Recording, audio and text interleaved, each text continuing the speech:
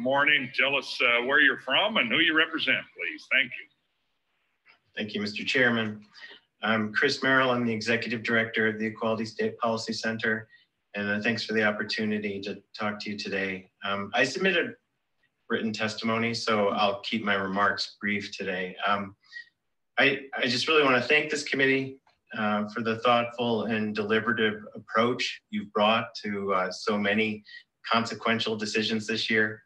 Um, and thank you also for working hard since the onset of the pandemic to uh, in, improve transparency, try to ensure public involvement as much as possible, you know, as we transition to virtual meetings.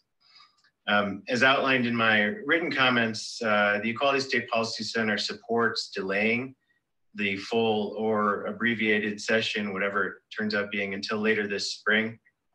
Um, you know, for all the reasons already mentioned this morning um, by uh, by Mr. Obrecht and others, and especially you know for public safety, the health of our citizen legislators, LSO staff, Capitol staff, you know, Wyoming residents in general. Um, as I mentioned in my testimony in October, you know, um, I also have concerns about potential impacts on Cheyenne Regional Medical Center, creating a potential COVID surge right there in Cheyenne at the height of flu season.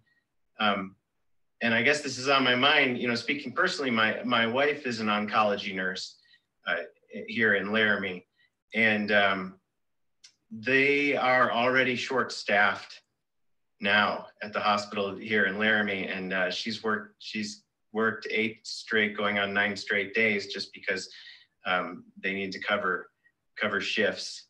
Um, and so, so I guess that's uh, one of the reasons that's on my mind. Um, you know, I, I get the uh, I I get the argument. Don't be ruled by fear. I've heard that a lot. Um, but it just again, in my case, personally,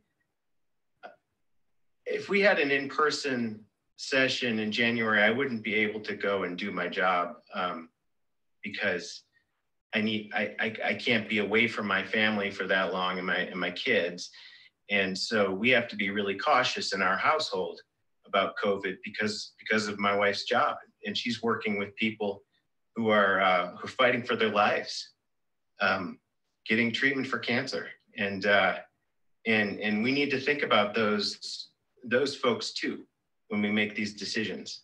Uh, there are people who are going to beat cancer and uh, and live decades with their family, people who love them, and we need to remember that there are vulnerable people. And uh, so when we when we when we think through all of the uh, these complicated issues, um, I I, I want to uh, I, I just want to um, I just hope that we we keep we always keep in mind that that um, that, that we have vulnerable people in our community who we care about and, and we need to do right by them as well.